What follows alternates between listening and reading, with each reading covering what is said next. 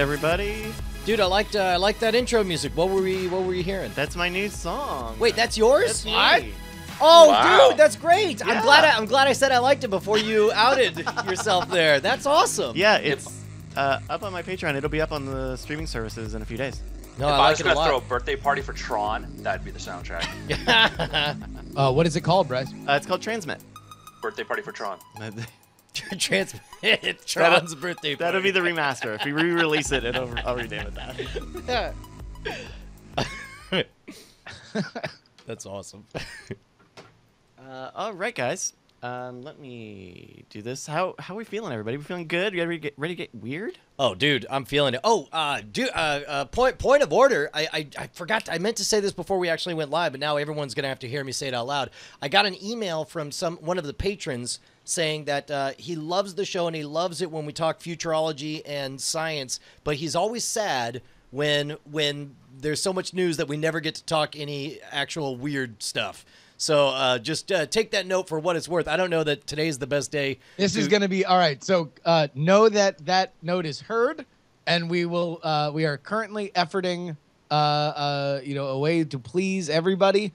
However, this is not going to be the episode where, where we talk about goblin attacks. Yeah. just go 45 minutes on on on on Goblin Talk. There's definitely a lot of balls in the air. Fair enough. Uh, but, but yes, the answer to your question is uh, I'm ready. I'm ready. Uh, before we go, can we get one last audio check? I'm gonna go in order You clockwise. ready? Uh, Justin, can you give me a little bit of audio? Hey, what's check? up, everybody? This is Justin Robert Young talking to you uh, via what people are now calling the internet. All right, uh, Andrew. Hi, this is Andrew talking to you. I'm trying to load up Skype on my computer, but for now, this is me here. Fantastic, Jody. Hi, I'm Jody Lynn Nye, and I'm glad to be here. And what kind of sounds do you want? Uh, that's great. Monkey noises. Here, can you? There we go. Pass the test, ever. guys. All right. Awesome. You're gonna fit right in, Jody. Mm, let me do this. Let me do this. You did say weird stuff, right? Yep. Okay. Oh hell yeah! All right. Uh, we're gonna go, or we're gonna start recording rather. Right now. All right, Andrew, take it away. In three, two. Welcome to the Weird Things podcast. I'm Andrew Mayne, joined by Brian Brushwood. That's right. That's a statement of fact, and I defy you to say otherwise. I'm not sensitive, Your Honor. Justin Robert Young. Hello, everybody. It's me, Justin. Now, gentlemen, we have a special guest today. I, I've been very fortunate to be asked by Kevin J. Anderson of Wordfire Press to participate in a humble bundle along with some amazing authors, including if you look up the humble bundle, get to humblebundle.com, you'll see some great books. And down there in like that really that power section, like the really, really like I'm like the free chafe you give away for one penny. But down there you'll see a book called Decision Points and that's a collection of it's very it's interesting short stories about people making critical decisions effectively but somebody could explain it better would be one of the authors there jody Nye. Yay, Jody! Welcome, Jody. Thanks. Thanks for having me on. So jody on your uh, webpage explains that you are uh, you spend most of your time spoiling cats Oh, yes. Yeah. At the moment, uh, just one cat in chief, but of course, any cat can uh, be spoiled if, it, if I happen to come across it. so And, that, uh, that is, seems to be there is a preoccupation between writers and cats There really does seem to be. I do know a lot of fervent dog people also, and, well, you know, we understand. Yeah, we're in in agreement on that. So, Jody, the way this works here is we talk about weird stuff Okay. sometimes, or sometimes we talk about future stuff or exciting stuff. And we, we have gotten a reputation as the bit of an Elon Musk fan club, and that's Yeah. Going to only persist because Friday, uh, we're recording this Sunday, two days ago, SpaceX achieved a major milestone in rocket reusability. And that was Mhm. they landed successfully the Falcon 9 on top of a barge way out at sea. It And- landed on the platform. It actually stuck the landing this time. Mhm. Yeah, Yeah, the, the footage cool. is available. That was There's 4K amazing. footage on YouTube on the SpaceX channel, and it is it is stunning. I'm certain that we'll get some, you know, edited version from all the different camera angles. But again, man, the, the, the gonads to to allow their failures for a publicly traded company to allow their failure They're, failures. well, they're not publicly traded oh wait, oh no, okay, sorry. No, Uh, they're, I'm thinking, they're I'm thinking of Tesla. privately owned. Uh, yeah, but but to to allow all their mistakes to be right there in public, uh, and to have this moment though is when it really pays off. When it's like they got it right, they nailed it, and um, uh, if I read correctly, and I'm sure you've dived into these numbers more than I have, immediately once they start recovering uh, craft, they get like a 30% decrease in in their costs, uh, and uh, w- with which I assume. Uh, what was the difference? It's sixty million dollars to make one of these craft. It's two hundred thousand dollars to fuel them. Around that, yeah. Yeah.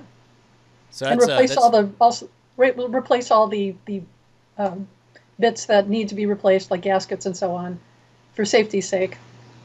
So So now- Jo- Jody is a science fiction fantasy writer. How do rapid developments like this affect when you're sitting down to write something, or does it even come into view? Oh well, it means that we have to jump just a little bit far ahead. We we've done what we can to extrapolate based on the facts that we have, and every time something real happens, we have to rejigger whatever it was we were doing. Uh, such as in the 1950s, Isaac Asimov wrote these uh, young adult books, and one of them involved people walking around on Jupiter. And it wasn't that many years later when they found out that it was a gas giant and you can't walk around on it. So he's published it with a, a disclaimer in the foreword saying, okay, this is what we knew then. Here's what we know now. There- There's a part of me that finds it extra charming, though, to find de- depictions of celestial objects that you know that we know different now. Like um, there was some uh, Ray, Ray Bradbury story about somebody going insane, uh, walking in the constantly raining jungle forests of Venus the entire time. I remember Yeah. that story. Yeah, Yeah. uh, It's I, I, hot I, rain for, for forever. right, exactly. Uh, I, I don't know. I find that kind of endearing and charming, but but it seems to me that there's kind of a double-edged sword, right? So, let's say you find out that Jupiter is now a gas giant. You know for sure that you're not going to be writing stories about walking around on Jupiter. But on the flip side, you don't want to be like, okay, it looks like reusable rockets are going to work. Therefore, I'm just going to write reusable rockets as the way everyone gets around. Because 100 years from now, we might have something even more efficient. Yeah, I, I think that's a Brian. I think that's a good point. Is that you? It's a good idea what the near term is for the next you know twenty or thirty years, but when we're trying to figure out much further out, and you see that a lot in older science fiction where people writing stuff in the fifties and things changed a lot, but they're still you know using technology. You would think like, man, I don't see how anybody could think this would still be around. You know. Well, it's a big deal when, when for example, uh, data storage. You, you read Heinlein, for example, and things were on tape, and that was the cutting edge, and no one could picture anything further than that. And now we have thumb drives and crystal storage. And I just read a wonderful article that more or less fits into the weird stuff. Is they're trying to figure out a way to program it into DNA so that you have permanent storage for petabytes, all the way up to I guess non nanobytes. Mm-hmm. And uh, we just have to keep guessing as best we can what, or make something so weird sounding that it will never be wrong because no one's ever going Because to do it. Because it's use nonsense. Yeah, sure. Exactly. Or Although it by still the has time to that- sound plausible.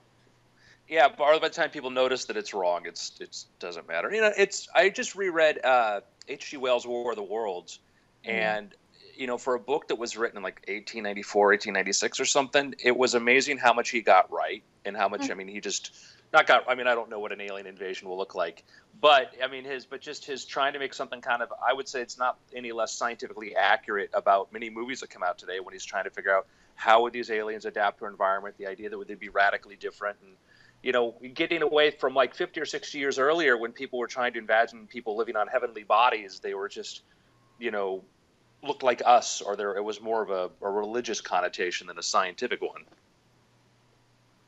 So uh, I think what's what's interesting from a creative perspective uh, in terms of writing is, is kind of the other side of this. That instead of trying to say, okay, well now there's this rapid advancement, how do we throw the ball further in a fictional story? There seems to be now more that you can tell if you want to do a near future science fiction story. I know Andrew, that was a huge theme in in Station Breaker, but I'm I'm curious uh, to hear uh, uh, Jody's thoughts on you know what does this kind of fertile scientific landscape do for near-term science fiction and fantasy stories I think it's a terrific opportunity, especially when you have so much information. Elon Musk has been very forthcoming about the problems that they've had with SpaceX and, and the landing. And it gives us terrific information because most stories don't just begin with what if, they go on to what if something went terribly wrong. Yeah. So you, you take you take that idea, you, you run with it, you read up as much as you can, and it will give you the idea of where to tweak that, where that story opportunity lies. Uh, I wrote a story uh, for a, an anthology called Launchpad that benefits the Launchpad Astronomy Seminar for writers and artists. And I was working with state of the art breaking information at the time that was talking about how spectroanalysis not only tells us where exoplanets are, but what their possible makeup is and what their atmosphere looks like. And extrapolating just a little bit farther, uh, Mike Brotherton, who was my co editor on that, wrote a story in which he could see whether or not there were life signs on the planets based upon what was the cutting edge, what was happening right now. Well, and I, I, think that's a really good point in that you're focused on the trends, not the actual data points that we have. Like, obviously, right now we have a data point that shows that a reusable rocket is theoretically possible, uh, and but, but the trend essentially says that getting to space is going to get so cheap that it becomes essentially free. Which is uh, there's a fantastic book uh, by Peter Diamandis, uh, Bold, where he talks about if you're going to build a new business venture, go ahead and, and yes, we're not there now, but go ahead and assume that computing power is cheap, ubiquitous, and essentially free. Assume that storage is is essentially free. Assume that transport is becoming almost free. And so uh, the idea that that we're kind of uh, getting to that point, even with something as outrageous as space travel, is utterly inspiring. I mean, to, to think that right now people are coming up with business plans that no, we can't do them today, probably can't do them 20 years from now, but they will be eminently viable in just 40 or 50 years. Well, it, I, I wouldn't say that it would be free any more than air travel has become free. Uh, well, I, but but again, it certainly is trending in that direction. It, it, it, gets cheaper and cheaper as, especially as you know, as inflation renders the dollar worth less and less. You can uh, uh, more people making uh, you know at, at the average salary it's become cheaper year after year after year uh, for example you know when i started touring all over the united states uh, it, it, was a strange time in that it was shortly after 9-11 so all of a sudden pretty much a business plan that made no sense. That every morning I would wake up in Austin, Texas, and then that evening do a show somewhere in the United States. But but it was just uh, I was able to take 200 pounds of magic gear and uh, and and ride a mostly empty plane by myself. Uh, you know, that's the kind of outrageous, out of the box thinking that starts to happen when when you follow the trend lines. Certainly, I mean, and, but yeah, I mean, it, it's the as these costs drop, and, and obviously never quite to the point that it's as free as Jody points out. But like you point, it's you you can build business models on top of that where it was really hard to do that with one launch capability, big launch capability with a shuttle, and you know the the Russians in a very limited opportunity to try to figure out the economics of it. And now now you see that, and you know you know where I saw some of this, some of this excitement last night. Where where's that? Oh, you know, when I went to a, a dance party underneath the space shuttle. What? well, I got to ask, what, what kind of shenanigans did you get into, Mayne?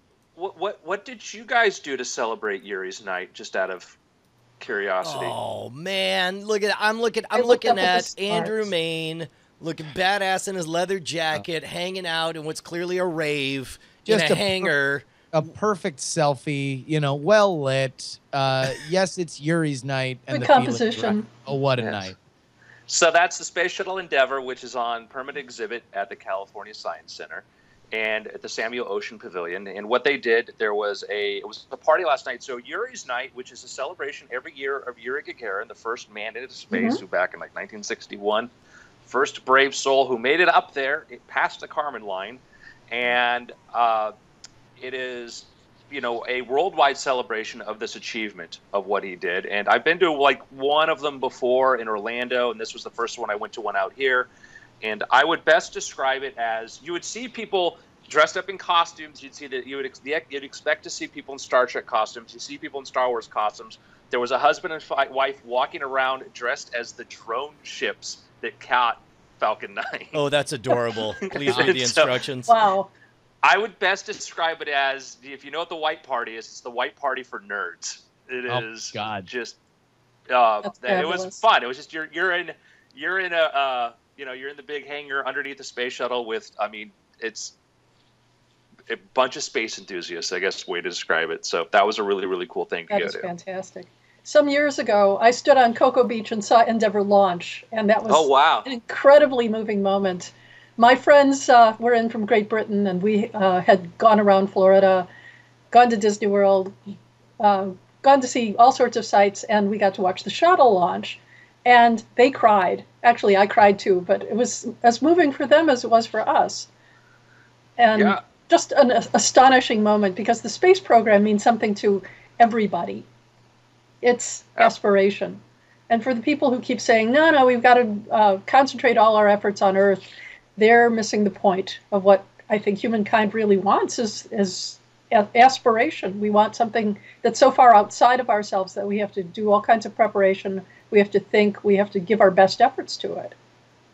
Yeah, I, you know that certainly gets into a subjective choice. I mean, I'm I'm you know, I'm wearing my Light Sail Project T-shirt, and I'm for that. But I, I I I do understand in a in a world of increasing resources, but not infinite resources, Right. where people might have different. You know, there's a there's an exhibit there they have where they have like put a token in there for how much money, how much of the budget you think NASA should get or not get or whatever, which uh, is interesting because it's it's one of these things. Like I'm a person like, well, is there a way for me to vote on how I think they should be more intelligently appropriating their money? You know, um, towards the things that I like, but that's neither here nor there. And when you look at the actual budget of NASA in terms of the proportion of what it gets out of the national budget, it's tiny. well, compared to what? How, what the Europeans spend? What any other No, nations compared to the budget itself. I know, but we spend five times more than any other nation as a part of our budget on. Uh, we spend more collectively than the rest of the world does on space exploration, and and you know, I as a I don't know that how much of our budget we spend on our, our rather inflated national budget is a metric for how we should judge how much we care about it. When we look at, I love NASA, but when you look at how many billions of dollars are committing to a program like the SLS program, which could be far better directed, take half of get rid of that program and take half of what that is and spend it better within there, and we Oh, have spending it better. I would love to see them spending it better. Part of what happens with any part of the budget is politics. Right. Yes, you have to have this base in this state because this senator has been for uh, fighting for it for 60 years, so it has to be here. And in spite of the fact that it would be better served elsewhere. Yeah, uh, I agree, and that's that's and the problem. is on. like that. Why we get problem, programs like the SLS is because it rewards contract, and I guess that's my frustration. It's the thing is that like let's fall, let's like NASA did an internal study to try to find out, you know, what would have cost for them to have built, you know, their own Falcon 9 rocket like Right. SpaceX had. And the you know, it turned out that it would cost at least two to three times as much, and probably would have taken two to three times as long mhm. which shows you there's you know if we can then that's why so many of them are excited about the idea of just having other companies having companies go out there and develop the technology then being able to hire it out like FedEx which is Yeah, I agree. I agree that there is definitely a place in it for private industry. It's helping a lot. I, I totally thought that you were going to say, Andrew. Uh, yeah, NASA did an internal survey on how much it would cost to make a Falcon 9, and as it turns out, they're still counting to this day. yes you know, Well, the number Because they're using one of those um, adding machines that has a handle on the side. Yeah, no, Yes. it, it, it's just the national debt clock. It's just like a constant uh, upward trend. yeah and there is some amazing stuff going on you look at the the Dawn series you know right now we have you know we have a spacecraft the size of a truck orbiting the asteroid minor we call it a dwarf planet pretty much Ceres we're going to be doing some great getting some great uh, jupiter data back in july there's some fantastic fantastic stuff and that's my thing It's like man there's a lot of great other little missions in there that, that are just suffering that could get more stuff but And Cassini is finding such astonishing things. Uh, and I've been told that people are allowed to send projects up on the shuttles for or on the satellites for their own scientific research. You know, you pay, you send up a box of a certain size, and, and you can have an experiment go up. I think that's marvelous. Yeah, we we, we talked. Uh, what was what was that company that we talked about that uh, sold uh, those those slots for for super cheap? there's there's like nanoracks or there's some other ones there's a few different companies that will let you do that and there's you know there's also There's a thing called CubeSats, which are the small ones. There's something That's called what it was. The CubeSats. CubeSats. That's There's a- it. Yeah, CubeSats. There's another one where you can do like kind of like just like like little, almost like glow stick size things. That if you want to go do something up there, so a lot of yeah, there's a lot of really cool cool things that are opening up as we increase stuff. They, just there's a plan to put a new launcher onto the ISS to make it easier to put things into orbit from there, but still, you know, getting it there. So yeah, there's a lot of it's exciting. It's exciting. So So uh, Uh, this is a totally, uh, it's a rude thought to have, and I couldn't help myself, and I can't be the only one who have that thought. Yes, it is truly a monumental achievement that they landed first stage of a rocket on the barge. That's going to have tremendous potential. How long do you think we are from sending one of those back up? How many years out from actually seeing? Well, certainly that's that's the next target, right? Yeah, I mean, if you're now- Elon yeah, that's, Musk- that's got to be the next milestone, really. yeah, Elon. If I'm Elon Musk says May or July, Brian. What? The, Yes. the, this same guy? Oh man, that's great. How many years, Brian? Please, For get with. Sorry. yeah. Welcome to the 21st century, dude. Yeah, well, I figured the first one would be, you know, pretty much dissected to uh, to test for. I guess you, you could test without destroying it, but uh, but I mean, you would want to find out, you know, what kind of micro fra- fractures you're dealing with and all that yeah, stuff. he. The plan I'm sure is. they're going to be scanned like mad, but the whole point is to be able to send the same one back up. oh, sure, Yeah. sure. I just wouldn't Yeah. have thought that the very first one that landed. Well, I guess it's the second one because we had the the, one second that landed on First land. one is going Right. into the museum, as Yeah. he says. Right. So yeah, I think he said something like July or August, but like this, he, he ideally they want to get like 10, 10 bursts, you know, test firings on it and see that, Right. and then flip that thing around. That's the plan. That's so awesome. Within the next year, the goal is to launch one within days of recovery, is what Marobot says in the chat. Ah, that would be awesome. Yeah.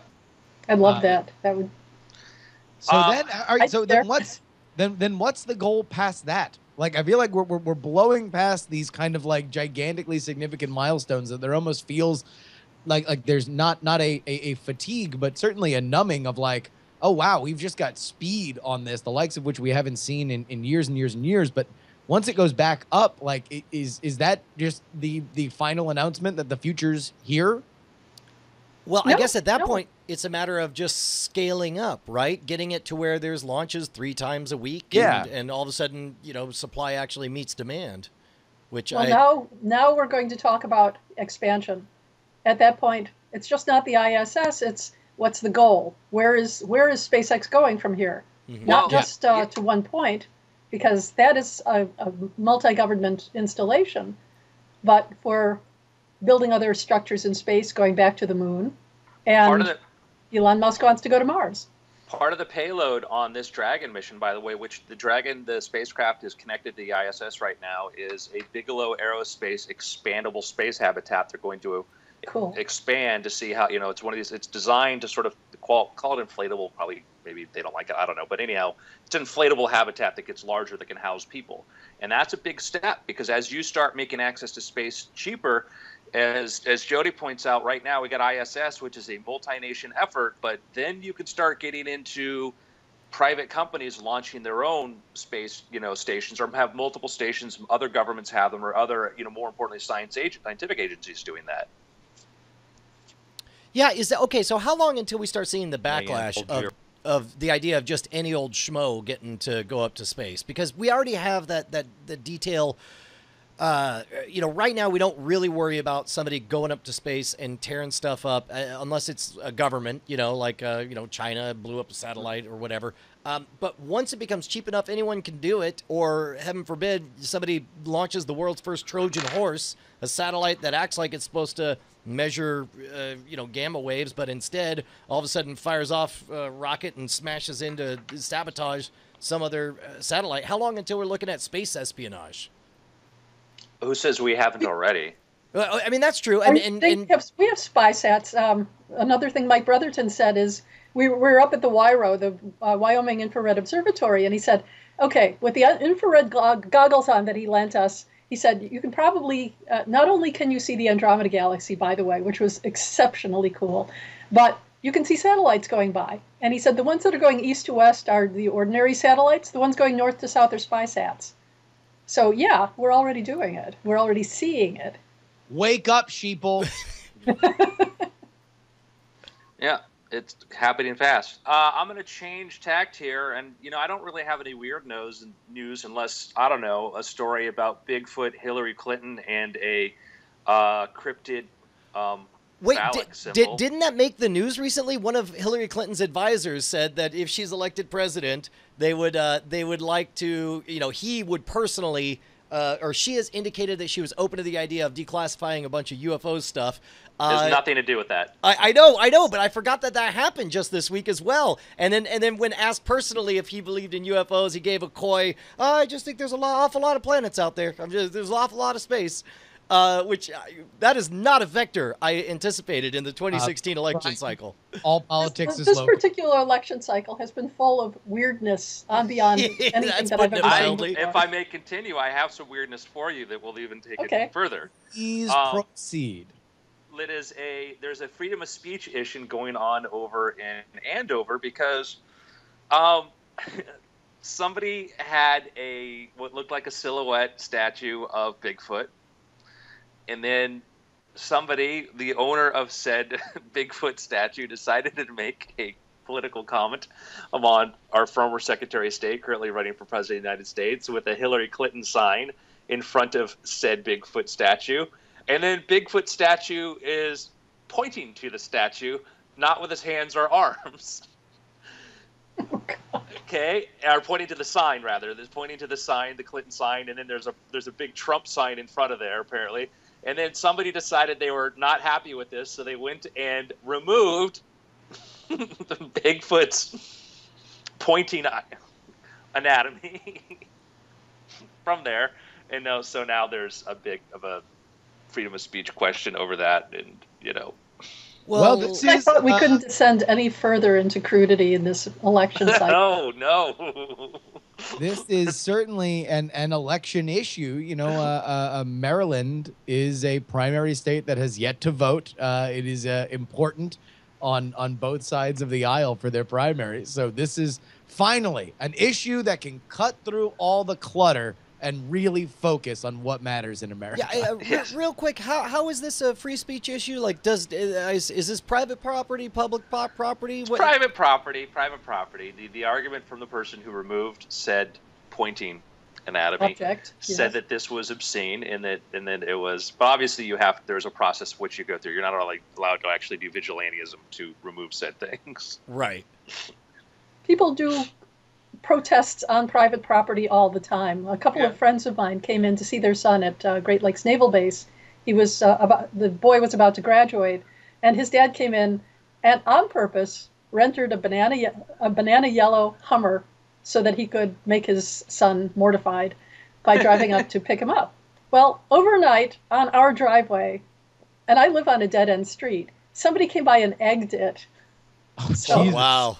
Here's here's your protest on a private on private property and they egged our house in the, in the process which was just thrilling Kids these days. Yeah, there is other Yeti news. Apparently, Vladimir Putin. Uh, this is uh, Siberian Times, one of the most reputable news sources we use here.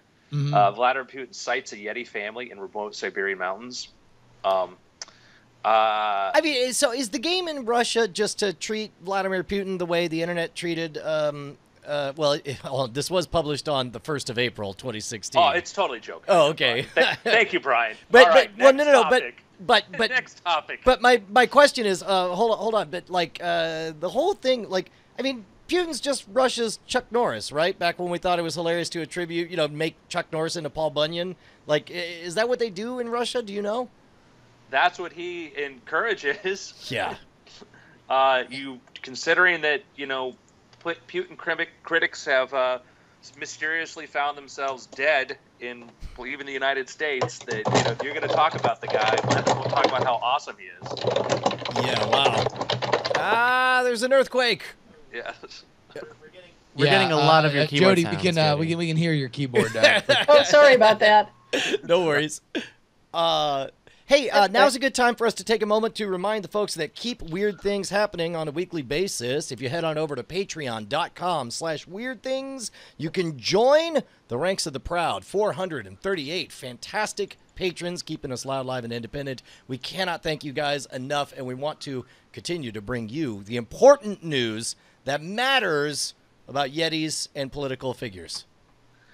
And while you're on the internet, check out the Humble Bundle, which helps benefit the Challenger Science uh, Science Center or Space Science Center, which is a initiative to help educate young kids about space science and the Science Fiction Fantasy Writers Emergency Fund. So, two very good causes which are benefited from the Humble Bundle, of which Jody and I are proud to be participants in.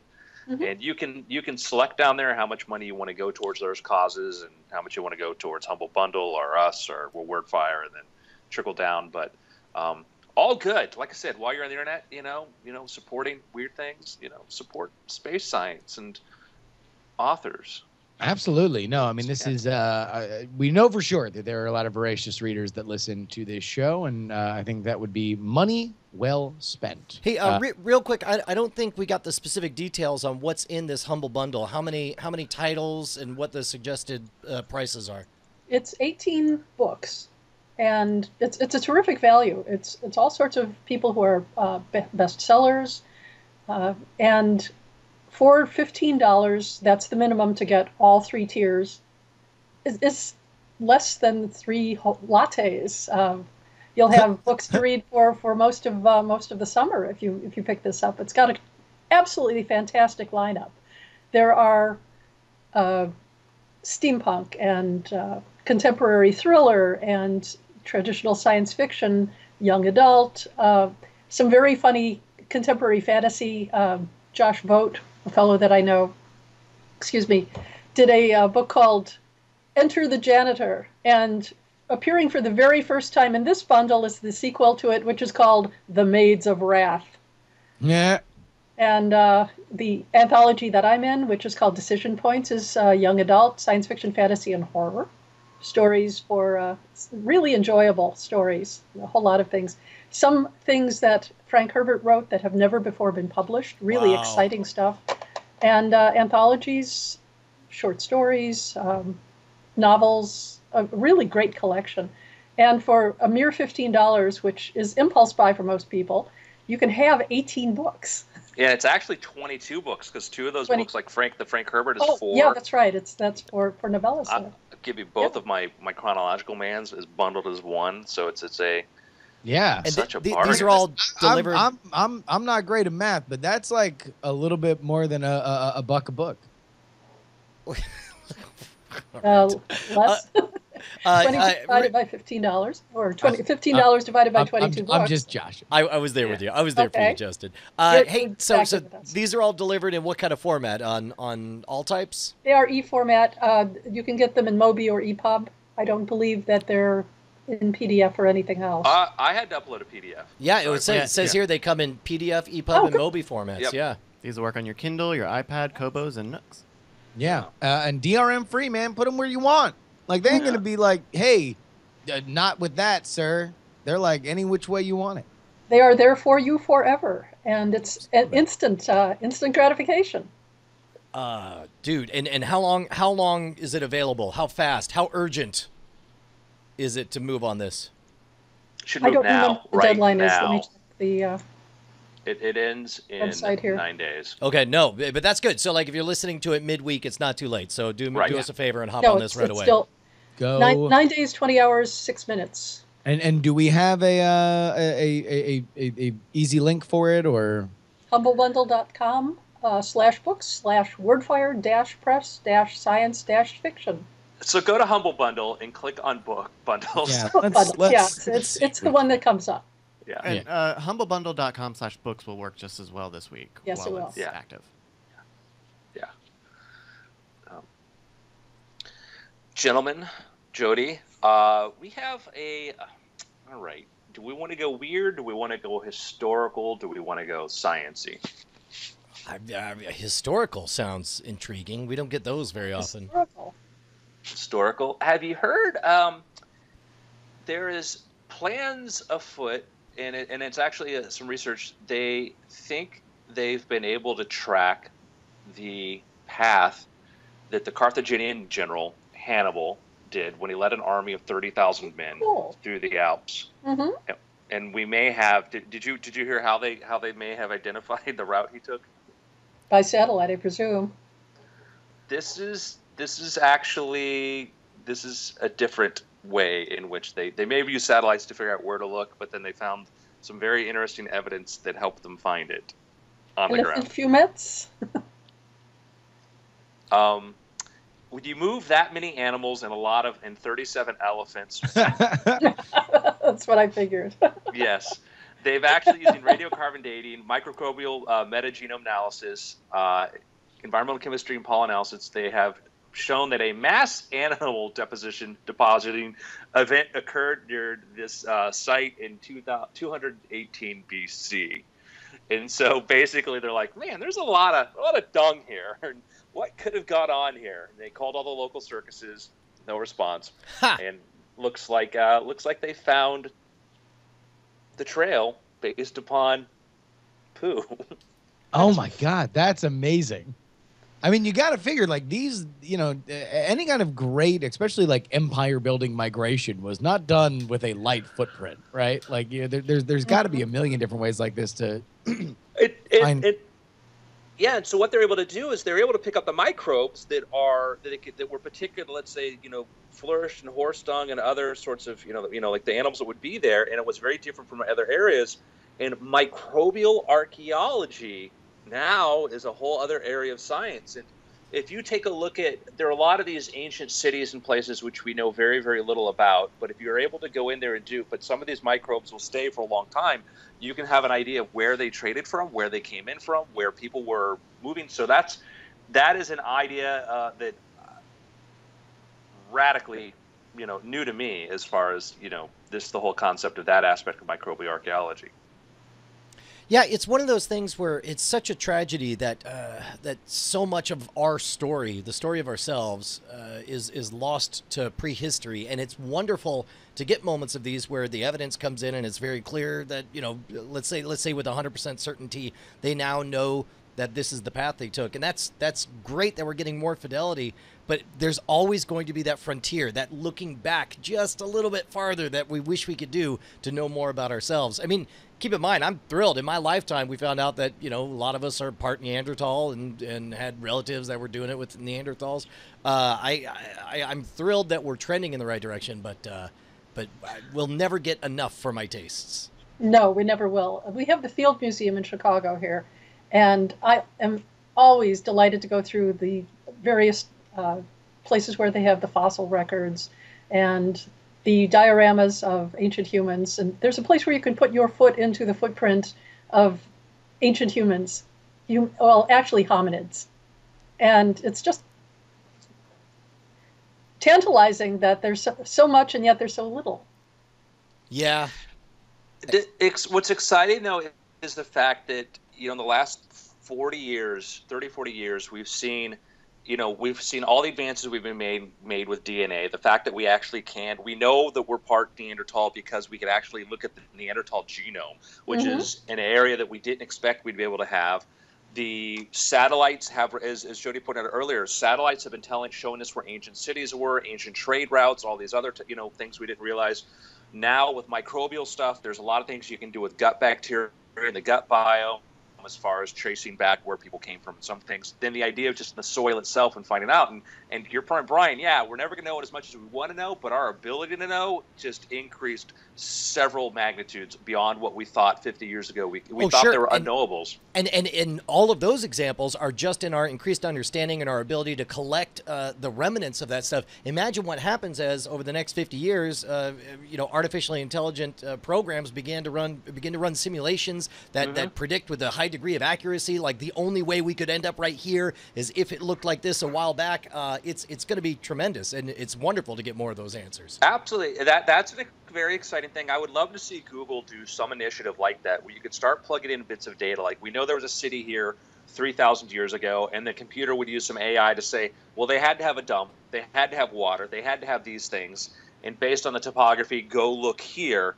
And that's going to be information archaeology combined with adding these sort of details in there will help us build a very, very interesting picture. And it's it's Bayesian in the sense that you can add these details in and make a much more accurate picture. Um, I look Did I look ever, forward to did that. you ever watch Time Team? Wonderful program. It came from Great Britain. Yeah, I watched the one on Doggerland. Okay, I, I didn't see that one, but um, they, they are given the ability to search uh, on, in an archaeological site for about a week. That's all they get. But they have been able to uncover some incredibly interesting sites and facets of, of a, a site that people never dreamed existed or that they were surprised at how extensive that they were. And thanks to satellite technology and the uh, ground based radar that they use to go around the sites, they've, they've picked up where, where walls were, uh, even walls made of wood still leave traces. And they find artifacts, wonderful things. But satellite technology has helped so much with this because they are finding sites that have been completely forgotten. Like um, I, I was told that quite a lot of the Mayan sites in Mexico were completely hidden by jungle, and yet going over them with satellite technology using radar, uh, they're they're pinpointing places that, where they should search. That's incredible. tremendous. Yeah, it's fantastic stuff. If you have a chance, they did the special Doggerland, which is the area between UK and Europe, which is now below the water, about six, seven thousand years ago, before the ice caps put us into an interglacial, was above the sea level and was maybe one of the most verdant and inhabitable places in all of Europe. Yeah, because it was uh, it was be- bottomland. It What's was that? what they call bottomland, which means that Yeah. it would have gotten the best of the uh, irrigation yeah, before it got yeah. too much irrigation. Yeah, until it got too silty and all that. But yeah, but so they time teamed in a, a special on that called Britain's Drowned World, which is really worth checking out too, and, and you know trying to piece together. You would you would think would be a totally totally lost, almost lost to history, but not quite. Um, Jody, this is the point of the show where we do picks, where we pick something we've read or something we've watched and something we want to recommend to everybody out there. Okay. Uh, well, I actually I I wanted to, to bring up something that was weird that uh, That I wanted- John. I come from Illinois, and we have a state fossil, and it's called the Tully monster. And I'm sending an article to uh, to to Bryce right now for that. And it's a it's an extremely weird looking thing. And for many years, uh, the scientists who discovered it thought that it was an invertebrate, but now they've decided that it is in fact a vertebrate creature. And what it looks like is pretty much like a muppet. It, it looks like a bag with a sort of crane on the front of it. It's there you go. Uh, okay, it look if if if a if a single crab claw just just detached itself and swam away from the crab, and uh, then that's that's what this looks like. That's extraordinary. Now It- the thing in the back there, across the back, is is a bar with an eye on each end. No, not not up there. Across the back of the Tully monster. That's its Oh, eyes. God. So it's got uh, so okay. So picture uh, I don't know like a uh, uh, uh, uh, Pleis Plesiosaurus. Is that is that what we thought It almost Nessie looks was? like a plesiosaur, except that it's the the long protuberance in the front is uh, not only its its sort of nose, but its its its teeth and throat. yeah. How do we how do we spell this? T U L L Y. It's named after the fellow who discovered it, the Tully monster. Well, so picture picture a fossil. plesiosaur, but but its back is is holding a pool cue, and on the end of each side of the pool cue is a couple of is a ping pong ball on each side, and that's its eyes coming out from from the middle of the arch of its back. That's uh that's that's some uh, innovative design work, I guess. It's well, clearly it didn't survive, so it wasn't that good a design. It, it, it, it is unique got- to Illinois. Did- It's never been seen anywhere else. I, I did a search for Telly Monster and I found a Muppet. I wouldn't be surprised. My cousin uh, does paleontological dentistry. He's he's a dentist by trade, but he also works with the Field Museum, and he worked on Sue, the Tyrannosaurus that uh, that is there. wow. And she said he said she had a massive abscess in her jaw, uh, size of size of a pool ball. Really, it's probably one of the things that killed her was that it, she was probably in terrible pain. And uh, but I I had no idea that such a cool hobby existed. Uh, That's funny. yeah. I have a funny one of the story. He does. He goes down to the Sue. museum and examines the, the teeth. what was that? Uh, there was Chicago. I think they anonymously bid on Sue because they didn't want to create a bidding war over it, and they outbid a philanthropist who was actually trying to buy it to donate to them. oh, that's hilarious. That's a shame.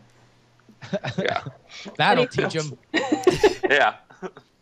he ended up getting like the second the, the copy they made of it. It's like the second like they made they produced like a second one. But that, Right. The that was head that's a- the head that's on the skeleton that's on display in the lobby is actually a reproduction. The actual skull is upstairs because it's just Yes. too heavy for the framework. Yeah, Oh, you can see it right there. But they did some amazing work uh, putting it back together again. The skull is five feet long. Wow. Wow. Uh, all right. Well, hey, uh, I, I got a Okay. pick here, real quick. Um, it's uh, I, I went to see a show. I saw a friend, uh, a, a, a, uh cohort of ours, and uh, was blown away by his his stage show. He had an awesome packed auditorium at the Bass Concert Hall, and it was an astonishing economy uh, in that he did he held 2,600 people spellbound, riveted, using nothing but stuff in a single uh, in a single paper bag. Walk, there's a paper bag when it starts, and he held everyone spellbound. Uh, ch- talented, charming, funny, incredible. Uh, Michael Carbonaro. If you haven't seen his show, The Carbonaro Effect on truTV, um, a, a gentleman and a scholar, and uh, the kids loved it, and I loved it. And he's he's good, good people, and it was good to uh, get to see him.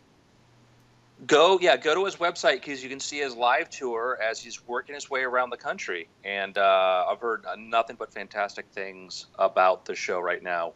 Um, ran into the Magic Castle last week. We're supposed to get together one between his run on this, but um, Yeah, no, it it, is. it's uh, so many good memories because, of course, there was that week that we we all performed together at the Magic Castle during the Magic versus T- Science tour. Mm-hmm. Cool. I'll tell you, I had the pleasure of seeing him perform non-magic do uh, the Telltale Heart at Oh, wow. a, uh, an event in uh, the Brookledge Mansion, and he's an amazing actor, an amazing actor. It was the girl I brought with me would not shut up about how great it was. You know, I was great, but she's like, "That's like the favorite thing I've seen all year." You know, and so when I last I talked to Michael, I'm like, you know, like your magic's good, but like my friend, she will not stop about that. You know, so he's he's he's a guy who is a very very gifted performer, and you know, obviously does the show The Carbonaro Effect, which you can see, which they're doing. I think they just started uh, season four on that, and now he's finding somehow the time to go on the road and go do a show. So Busy guy. Busy guy. Very, Yep. very talented. Always, always one of the uh, one of one of the good ones. yeah, yeah. Uh, I got a Uh, pick. Oh, sorry, Andrew. Were you gonna go? No, no, please, please. Uh, saw a movie on Friday. It's called Midnight Special. It's directed by Jeff Nichols. I had not seen his other two movies, which were very highly critically regarded uh, Mud and Take Shelter. Uh, this is a really, really, really fun movie. Like, it's uh, it, it, it is almost like a, uh, a a B movies plot, you know, that is told about as artfully as you uh, you possibly could. Uh, you know, got great performances by uh, uh, Michael Shannon, Joel Edgerton, Kirsten Dunst, and uh, and and Adam Driver is uh, has a, a a supporting role that's uh, very clever and fun. But you know, eh, the the the less you kind of know about it, the, I think you know the more you'll be sucked into it. It's not a, an especially complex plot uh, involving a, a kid that has uh, undefined powers and uh, all the adventures that happen as you know it's a very small story of a few people trying to you know uh, ferry this kid from here to there and all the complications around it. But super fun. Uh, i liked it a lot. And uh, it's it's one of those movies where you know you look at that director and you're like man in in, in the right hands he could be handed the reins of a a huge franchise and just do one of like the biggest movies ever. Like he definitely this I think is is his test run through uh, sci-fi, fantasy, special effects uh, stuff, and and everything comes off uh, uh, really well. So very much dug it. Midnight Special. Awesome. Jody, do you have anything, or your telemonster, or? Uh... Uh, well, yeah, I've, I've got a lot of things I can suggest. Um, one of them is a sort of steampunk detective series that's been running for, I think, nine years in Canada called. It's called The Murdoch Mysteries Up There, but it's being syndicated here in the United States as The Artful Detective. And I really don't see how that has a connection to the uh, plot itself. But it's a really well written, well acted series, and uh, just finding it to be fascinating. Yep, that's it. Yeah, they had. I think the first season was on Netflix for a while. Is it still there? Mm-hmm. Yeah, I think they're in like season nine. They're, doing terrific stuff. Okay, My husband's yeah, a we'll huge find out fan. if that's on Netflix he, or not. uh, yeah, said you, you need to sit down and watch this. And since he's the one who sat me down and, and made me watch Bill and Ted's Excellent Adventure when I, I do not want to watch a movie about a couple of California slackers, but he was right. And he was right about this too. This is a good series. Justin I won't take too much offense about that. yeah. Uh, my my pick Well, they turned out to be two of the best good guys in the world. I mean, that's that's the terrific thing about the Bill and Ted's. But the Murdoch mysteries are really interesting. They do period stuff very well, but they also introduce characters of the day like Nikola Tesla and Sir Arthur Conan Doyle. Uh, also, San Dimas football rules. yeah, It's Cindy was- computers. Um, yeah, just trying to see what was available. Yeah, they was. I guess it's no longer on Netflix now. But um, Bummer. my pick. Uh, I just watched all seven episodes, and this was based upon the novel uh, Jonathan Strange and Mr. Norrell, which was, uh, you know, if I were to describe it, it's kind of like Downton Abbey meets Harry Potter, perhaps. It, it's a takes place in the early 1800s, and it's about the trying to restore magic to England, and the idea that there was magic 300 years prior, and then it went away when the Raven King left, and there's this uh, there's theoretical magicians who study what they can of the history of magic, but it's no longer there. But all of a sudden, there's magic coming back, and this is the middle of you know the Napoleonic Wars. So Britain obviously feels a need for that. This was by Suzanne uh, Clarke. Um, I really, I tried the book was just it was like almost 800 pages, and I just it was too dry for me. But I really enjoyed the, the TV version of it. You know, so yeah, you know, I gave it uh, two tries. I, I, I didn't finish the book. I didn't finish the audiobook. I just got lost in it. And and there are certain people, you know, our friend uh, Nate Staniforth, very talented magician, has read the book like five times. He, he, he just loves how rich and detailed, and he can Mhm. sink his teeth into it. But it just it just didn't take with me. So I, I want to experience what he was talking about, and if the television shows the way to do it, then I'll I'll take whatever I can get. It's, I it's re- pretty amazing. The casting is fabulous. Uh, having Marc Warren playing the gentleman is such an interesting casting. He's he's Yeah. fey and, and scary all at the same time. Yeah, it is. It is a Eddie Marsan who who's like on Ray Donovan plays his brother. You know, who plays in that kind of this kind of you know this Bo- you know, this Boston Southie kind of guy who's maybe not the brightest. Here, he's playing one of this refined magician of the age who's got this extensive. He's an intellectual, and it's just to see him go between one character to play this, and wonderfully so. So so yeah, exactly. So well casted. Such a. I enjoyed it very much. So that's my pick. Right on. Uh, I'm excited to see it because, like uh, uh, Andrew and, and Brian, I, I actually did get through the audiobook. Unfortunately, it was when Audible had you download multiple parts of it, and I accidentally started part four after stopping part two, and I didn't realize that I had because the book could be so, uh, you know, jumpy in its time. And then eventually, I'm Oh. like, it feels like I missed a bunch of stuff, and I realized what I'd done, but I was like, oh, okay. My uh, my parents, I was so excited. I gave them the six CDs uh, to the audiobook for the Gunslinger, which is an odd story in that it it it has uh, like a, a flashback within a flashback within a flashback. So it's Yeah. very very jumpy around. And they listened to all six discs. They loaded it in the caddy of their car. Uh, the wrong way, so it just played uh, the entire thing ba- backwards, and they, they enjoyed it. And then they only at the end, when they put in the last disc, and it was like "The Gunslinger" by Stephen King. Did they realize what they'd done? That's funny. Oh boy. Uh, Jody, thank you very much. We could find you which uh, jodynye.net, JodyLynnNye.com. uh, jodylyn.com, and that's what how many? JodyLynnNye.com. Three N's. Okay, awesome, awesome. So please, Mm-hmm. by all means, check that out. And There I am. thank you so much for being with us. Thank you very much for inviting me. It's been good fun. Has Uh, as- weird? and by the way, uh, bit.ly slash humble science will bring you to the humble bundle that uh, Andrew and Jody are featured in. So bit.ly Congratulations, guys! Oh, what I- a, what an gonna- I, honor! gonna, I have another one to give out there if you want to do that, which was the uh, the SF bundle. Okay. But never mind. Sorry. hmm So what what what is that URL? Uh, that should be SF. Uh, hold on. Just because we're trying to track that from. Well, hold on. Let me pull this up. Um, It's podcast gold right here, people. I'm sorry. I yeah, I didn't know we were gonna do it Bitly. I would That's have. Sorry, yeah, that's what I had. I had asked. I asked during the the, the plug. I was uh, just trying to be helpful. Yeah, no worries, no worries. So anyhow, Jody, thank you very much. Thank you so much. H- how- You want me to it- hang up? how- how's how's it been? How's it I been? asked, I already said it's been weird for you, hasn't it? But then that got talked over. Oh, It's fine. so now we're just gonna hold on here and keep it really strange. So, so do we have a decision on how are we ending the Which- show? I already said. I said like a minute ago. It's been weird, hasn't it, Jody? And then Yes, it's been extremely weird. weird, but good fun. okay. All I can do it again. It's been Sure. weird. It's really been weird. Now it's ex- extra weird. Uh, all right, here. all I'm, right. I'm gonna hit the head real quick. I'll be right back. Great. Uh, thank you, Jody, so much for for joining us. Thank you very much. It's been fun. Thank you so much, Jody. Okay, hanging up. Thank you. Okay. Now. Uh, I'm gonna log out here and try to log into my computer. okay. Cool beans. Hey, everybody. Have you heard the weird things? Bryce, show? do you think I should try and play the the since Jeremiah Gables went over so well? Should I try to play Bathtub Heaven? Oh, yes.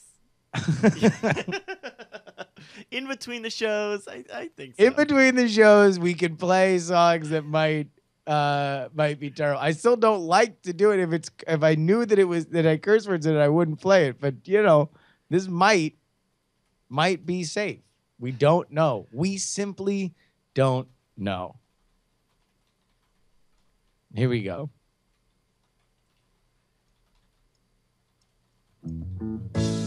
If you died with champagne in your hand. All right, never mind.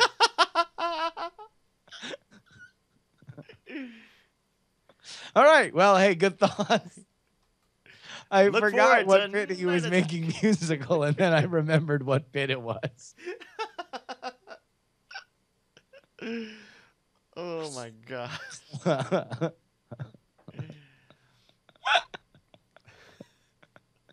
uh, hey, play more of your rad, uh, your rad new song. Thank you. I will do that. Uh,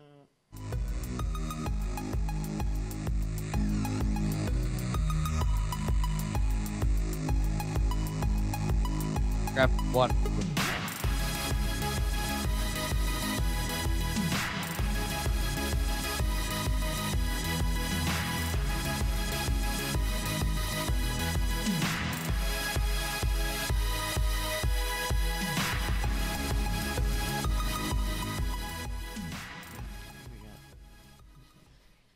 Hello. Hi. Uh, I just got a message. Uh, Brian, can you hear us? Yes, sir. Oh, great. Hey, Brian. I'm Brian. Hi. Are- We're doing just doing audio, or are we doing video too? Uh, we we do video if you if you have the capability. Uh, the video is just for the for the live stream, and that'll be on the the YouTube page. But most people are experiencing it by audio. Okay. Well, let me. Well, hold on. I'm kind of in a weird position for video. Hold on. Okay. Take your time. I can do it. I just. I'm gonna get my headphones on here because otherwise there's tons of background noise. Can you guys hear me still? Oh, Uh, absolutely. Yes. Boy, you guys are really soft. I don't know. Let me figure out why. Oh, you know we can we can send you um a, a louder, so we can bump the volume there. There we go. Are we louder now? How's that sound? Yeah, you're a little bit louder. I, st- I I think that there's something going on with my Skype here, but are we are we are we live? Uh, well, we're we li- are we're live, but not recording yet. So uh, we got a few uh, gawkers checking us out.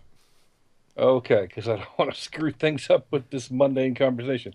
Let me see what I can do about volume here. Okay. Uh, I turned up our what our, our what we're sending to you, so hopefully that uh is is a little bit louder for you. Yeah, it's better. Okay. Right on. Uh, so the the guys are. Uh, Yeah. So right is is Andrew rebooting? Is he gonna be on his computer? Or? yeah, he. Uh, um, i- we're we're seeing what we can do with that. Uh, So I'm talking. Let's see. So I was. Who am I seeing on screen? Is that your? Oh, uh, hi, I'm Brian Brushwood. Uh, and Okay. uh, over here, the empty chair. Uh, wait, well, Oh, no, right, no. right there is producer Bryce Castillo. Now he's down there. Uh, yeah, now he's now Oh, he's I see here. him. He I just- see him. He's a Okay, squirrely gotcha. one, Hi, always jumping around Whoa, that Bryce. Whoa, whoa. and then uh, and then the empty seat here belongs to Justin Robert Young, and then down to your to the right of you will be uh, Andrew Mayne, Hmm. who's calling right now. Andrew Mayne, Ah. please. Hello, hello, hello. Oh, fingers crossed. Do we get Andrew Mayne's face? We hear him. He's a Oh, he's a spinning little Yes. spinning uh, dot right now. it could be that that's all we get of him. I don't know. Hey, Justin. What up? Yeah. Uh, is it po- anybody hear my voice? Yes, we can Or- hear you. Can you hear us? I can hear you. Uh, yeah, there there's a whole thing with the Bitly and trying to track which social media accounts are getting the influence on that. So we Yeah, need to. just, just just text me the yeah, sorry about that. I should explain. Yeah, I was either like I will do it neutral or whatever, but like uh, we Yeah. need to just do. te- text me the where they're coming URL from. and I'll change it. Yeah, I can change where it redirects. no worries. All right, let me. Um, oh, great, because then you'll change the Bitly, and we won't need to go Yeah. through and edit the episode. Oh, did you make that Bitly, Justin? I did. Yeah. Oh, gotcha. did it gotcha, live on the Okay. air. So yeah, Some if you give him the- eagle-eyed observers were catching him. They they say Justin looks like he's doing something. I bet he's making a shortened URL, and they were right. They were right. Uh, yeah, no, Justin, just leave it. That's fine. That's totally fine. You sure? Uh, the the built bit.ly slash humble science. Yeah, if you have if you have control of that one, that's fine. That's totally cool. I just just on our tracking for us to be able to measure what we're doing. So if that's the one, that's great. We actually unique one to weird things is perfect. We're just trying to keep an idea of where I thought it was an outside. I thought it was a different one. I didn't realize that was one because there's another. There's two other Bitleys that we're using to track. Oh, okay. Yeah, no, no. I was just when I asked her like, No, "Hey, what's the good you, URL?" and and you know, it was like the whole big. By the long time you heard the third dash, you were already at bit.ly typing something in. like- dot html slash. Tilde, uh, Um, Vax user. So yeah, so uh, I just made a little thing. So yeah, if that's good, if you need me to change Totally, where it totally, to, totally. just let I, me know. yeah, it ended weird because I just pan a panic because I'm like, man, I got to figure out how we're gonna track what we do here. Um, Um, we still don't have video for you, Andrew. Uh, I know. I yeah. I'm. I've got trying to resolve this. Um, bark, bark, bark, bark, bark, bark, bark, bark. You getting pumped up? I am. that what it is? Get the hosts pumped. So, uh, Brian, what have you heard about the uh, the After Things podcast? Uh, I have heard basically whatever you tell me. Okay, uh, we, we we of course do the Weird Things podcast where we do uh, news covering the paranormal, uh, futurology, and technology. But then uh, we started doing After Things where we talk a little bit more. We want to kind of pull back the curtain on creative endeavors and uh, what it's like to you know uh, on the on the inside of the of this kind of business. But I'm sure we're going to talk a lot about your work and uh, certainly the Humble Bundle and maybe maybe even talk a little bit, um, I guess, just about how humble bundles work and where they came from, and because that's that's a that's a hell of a phenomenon. Well, I hope somebody knows more about that than I do. I'm sure I'm sure Andrew does. He's he's got he's probably got spies uh, reporting from the inside. I know nothing. Yeah. No, this is my first time doing one, and they're just like, "Hey, yeah, by the way, your thing's going to be in a in a humble bundle." I'm like, "Okay, whatever that is." ah. No, it's funny they're because I like, "Hey, you're in a humble bundle. Promote it." Yeah. So that's about that's about the extent of my knowledge. It's it's a bundle, and it's very humble. And You're like, it. well, promoting it doesn't sound very humble to me. That sounds like you're a braggart, sir. well, it's it's humble because it won't promote itself. You Yeah, see, oh, that's Ah, right. you Good go. point. it really is amazing to just see like the whole humble bundle system how it's grown since it started a few years ago like it used to be like every time there would be a new one it would be this huge thing and now there, there's so much so much like enthusiasm for it that they're doing bundles every week. They're doing multiple bundles at the same time. They have a they have a humble bundle oh, store. Oh, answer, answer, Andrew. Oh, oh, okay. Sorry, sorry. I was getting too I, I, was getting too excited. I- I know, I know you were. Hey, Hey, Andrew Wayne. I've had Skype has been giving me nothing but like weird like problems. See, and he's supposed to be magic, so he shouldn't have. It's not problems. real, Brian. It's fake. That's the problem. Ooh, we unmasked him. Andrew was unmasked. no. Oh, sorry. I couldn't Charlatan. um. So, uh, Brian, do you prefer Brian Thomas, Brian Thomas Schmidt, Just um, call me Brian. It's fine. Yeah. BTS? Yeah. BTS. Brian is either way is fine. Yeah. Whatever you want to do. All right. Or BS because I'm full of it. Anyway. Yes. There's a lot of that going around here. Uh, it's been one of those last four days. Everything just I'm not in my game here, and I'm sorry. uh, All right. How are we feeling? honestly, Oh, Wait, whoa, whoa. You, you relieved at least? Uh, something good? uh, I'm not gonna bring Tell that. me here. something good Um, right. or not. Thought I'd turn a light on because I realized I'm in the dark and then I actually look better with the light off. I think you can see me better. So Are we, Yeah. are we allowed to vote on that one, Brian? I'm just asking.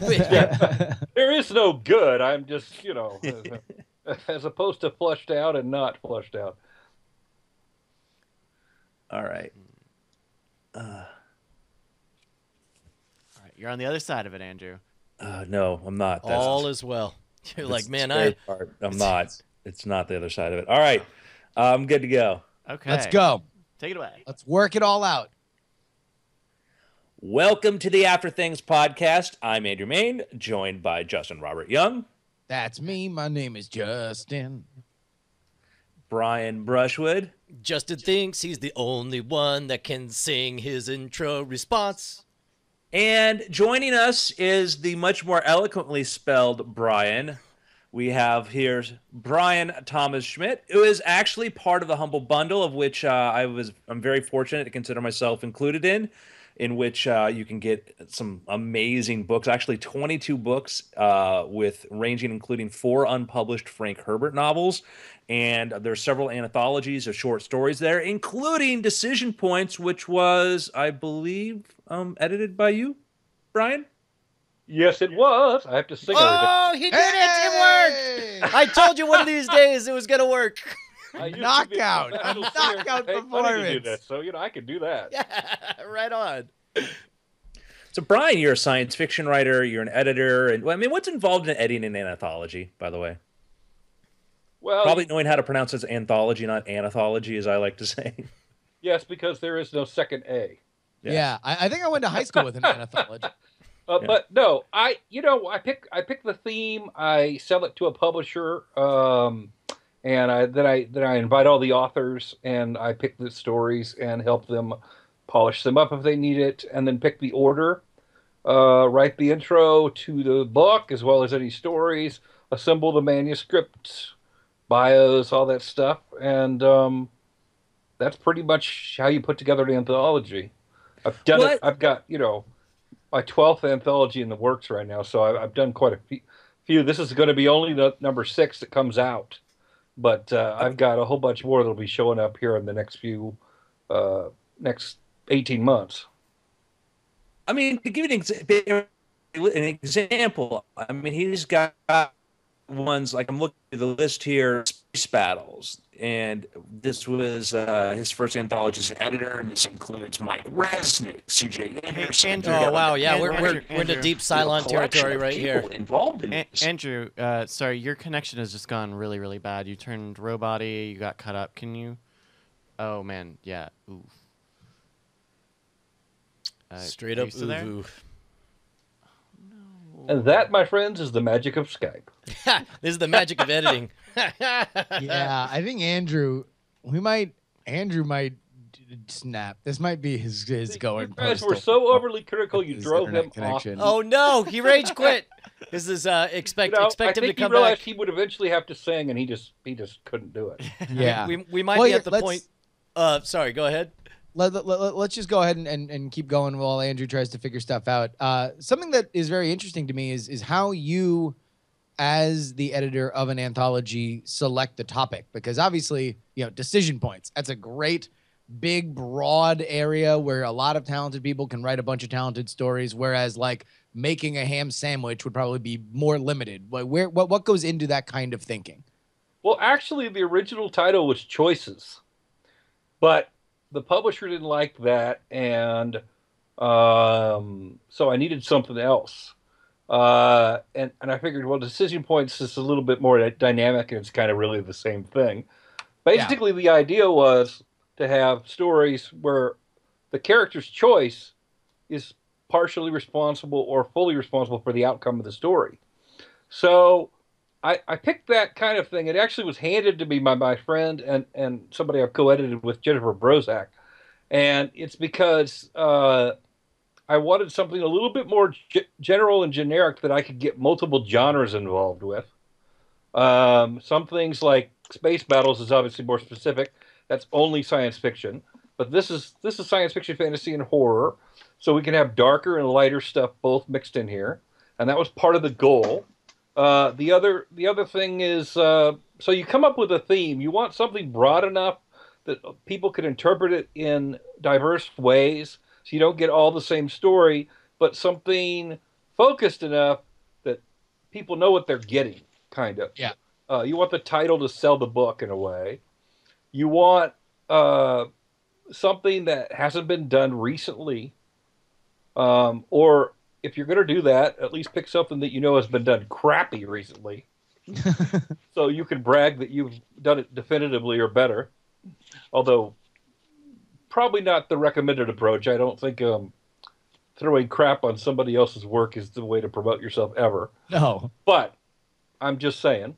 Uh, and then and then you know so that that's how you kind of pick your theme, and then you just kind of go from there and see how people. You, you know, uh, it's YA, so I I did interpret a few, you know, watch the language to a degree, and and you know you know the sexual content and graphic stuff to a degree that's appropriate for that you know the age group. But beyond that, I mean, it's pretty much I'm like, okay, what what can you come up with? But the, I don't this in this case it actually is 20 stories, 14 of which were reprints and 6 of which are new. So I only really had new people writing to the theme in 6 stories. The rest of them I went out and picked stories um, and the sub theme was to pick both YA people that are known for YA and people who have not been known for writing young adult necessarily, either because their stuff was not marketed just young adult, but it was, or because uh, you know their stuff typically is is just that's they've got the adult audience they've never really gone after the YA audience. So I I was picking some older stories that might have come about, like Robert Silverberg's story probably was published when there was no YA. For so example. as as editor um, i know part of the job of editors is to uh, correct certain things or massage stuff but but since some of these were published and but now they're being published specifically to young adults were there any of those that you actually changed parts of the, the story in order to make it more appropriate for this audience Uh, generally, I don't have to do that because once you set those parameters, the writers know what's allowed or not. mm-hmm. Um, there were definitely some stories that I that I worked through and had them edit. None of the reprints got anything but cleanup. You don't go back and ask somebody to re-edit their their uh, their reprinted story, especially professional. That they don't want to do that, sure and that's kind of inappropriate. Um, and besides, I can pick stories. If I think a story's not ready, I'll just pick something else. I don't need to. I don't need to mess with that, right? Vonnegut, you're fired. right. I'm not paying them enough money anyway to make it worth their time to do a whole bunch of rewriting anyway. Um, Uh, re- re- reprint rates are not the same. So, uh, you know, I I did I did with the um, with the newer stories, uh, but not with the reprints. Um, but even then, most of them, except for the, a couple from the newer writers, pretty much came in polished and just needed a little bit here and there. So uh, I asked for what I wanted, and and they gave it to me. Um, the actual reprint that went through the most rewrite was actually my reprint ha because I had had it published years ago by a semi-pro market, but I wanted to make sure it was up to par with the rest of the stories. So I sent it to a friend of mine who's who's another editor and said, "Tear this thing apart, and tell me if I could make it up to professional standards. And he did. So I did quite a bit of rewriting to polish it up. So it's actually kind of, in a way, a new version. The only other one that really had any significant change was Orson Scott Card's Ender story. He cut one of the scenes that he felt was kind of a sideline scene it didn't need. So technically, we got a story that was it's a novella or novelette. It's it's slightly shorter than the version that was originally released uh, by itself in a standalone book from his publisher Tor. It's slightly different than that, so it's never really appeared in this form. But that one had never. Most of these reprints had never appeared in an anthology before either. That was part of the appeal. So I've heard now from a couple different people. Like I did a panel with Steve Altman, who mentioned that his way, his entry point into publishing, was to do and you know an anthology was to collect a bunch of other people together, and then he gets his name associated with other names. And here you mentioned, you know, you have a Orson Scott Card story, which you've got Orson Scott Card story now in the Humble Bundle, and that's kind of amazing kind of association to have there. And is that kind of a hack? Would you say? I mean, not using hack in the pejorative term, but kind of a, a, a great, a good way for somebody who loves literature, loves writing, and who wants to get involved in publishing to get in is to say, hey, if I can get people together to do this, then I'm in. Well, I don't, I don't know how. I mean, it, it's hard to sell anthologies right now. It's really I would imagine. hard. The majority of anthologies to publishers, it's hard to sell them to publishers. The majority of anthologies do not make their money back. I've been very lucky with mine, except for a couple early ones. All of mine have been earning back. So they're not making a huge profit, but they're earning back the advance. So that is good. Um, so, I mean, it might be an entry point for some people. It certainly was for Steve Alten. It certainly was for me. Mm-hmm. But I used it more because I wanted the opportunity to help people. I wanted to work with writers who were my heroes, and I wanted to work with some up and coming writers and give them a chance to appear alongside their heroes and get more exposure. And at the same time, felt like I had a voice as an editor that would be worthwhile because I'd been told that I did. So all of those things came together, and then you know I was able to finally sell books to major publishers and have. Um, it's a great. Uh, it then provides a great opportunity because because I have existing relationships with all of these editors and publishers, I can pitch my novels and other things to them directly, as opposed to going through an agent. So there is that advantage to it. But it's I still have numerous projects, including Decision Points, which take forever to sell. Decision Points has actually been around for three or four years, and I finally found a publisher for it, and it's finally coming out. So, but literally, I was shopping the thing for a long time before it ever sold. And and and do you have to have all of it selected before you shop, or you shop the idea first and then and then collect the works? Often, I I, I have a, a couple example stories if I'm doing reprints, and then I have writers who are headlining names attached, like Steve Alten would be one, for example. I have those kind of people attached and say these people are willing to do stories for this anthology. Here's the budget. Here's the idea here's my credentials, and and they say yes or no, and I do the book. But in the case of, of decision points, I had pretty much, except for a couple new stories that I added because I got an extra budget boost, everything was written and, and assembled pretty much before I sold it. So this that's why actually I, we didn't do the deal until like November, December, and the book's already coming out because we it, we could move very quickly because I had the book all together. My other books, like you know, that I've sold. Like I'm working on them, and they'll they won't turn in until the end of the year, or and it come out a year later. So it, it's kind of been a faster process for this book, and it's kind of a little different. So you've got an unpublished or previously unpublished or Orson Scott Card Ender's story in there.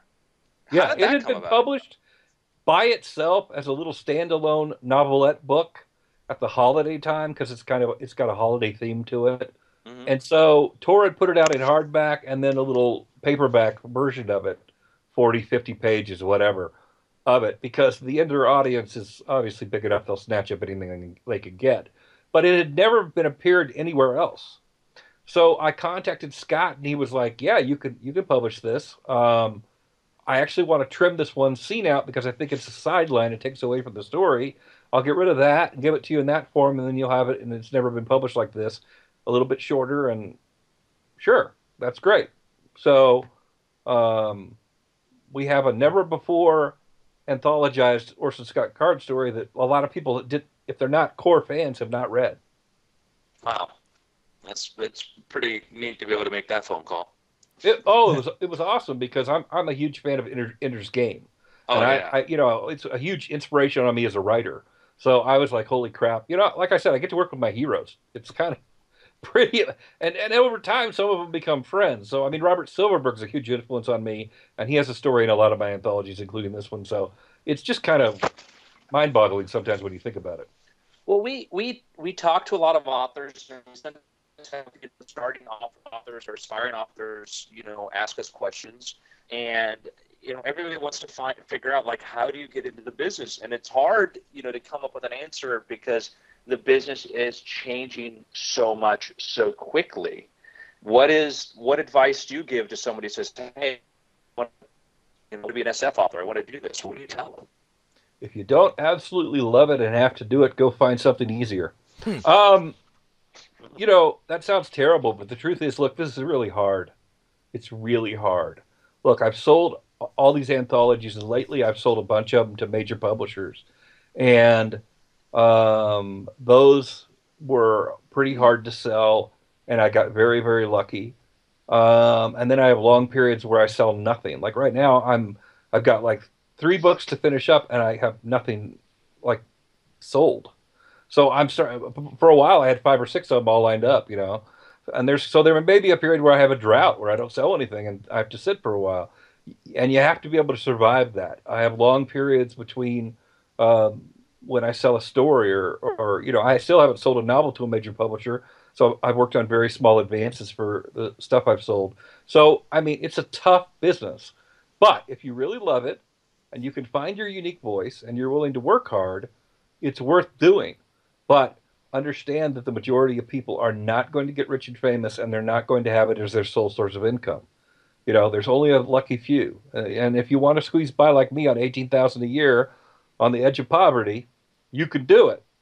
But it took me years to even get up to that level where I could do that as my job. Wild. Well, that's motivational. well, it's sobering. I mean, I, yeah, I realize it's not kind of like No, I, yeah, exactly. It's not like yay, but you know what? I kind of operate under the philosophy that when people ask me for advice, since I'm an editor anyway, I'm kind of supposed to tell you the truth and not necessarily what you want to hear. And I, Yeah. I'd love to help Well, and and get I- but you know, I'm not doing you a service by lying to you. well, and, and no, I'm and, so I, and I just want to say I totally agree, and I think that when you're passionate and you love to write, that is the thing you do, and you just find a way to make that happen. Everything else is irrelevant. Well, exactly. I mean, look, some people are going to get it. Uh, look, I mean, I edited by luck. I got to edit The Martian by Andy Weir, for example, which everybody knows it's a huge hit, and he hit the author lottery, right? Well, I'm sitting here thinking, well, I've been writing longer than Andy Weir. Why can't I hit the author lottery, right? And I can sit there and I can be jealous about that, or I can say it happens to some people. And Andy's a very nice guy, and it's a very good book, and I'm very proud to have been a small part of it. And I'm not putting him down at all. He hit the author lottery, but I haven't, and I may never hit the author lottery.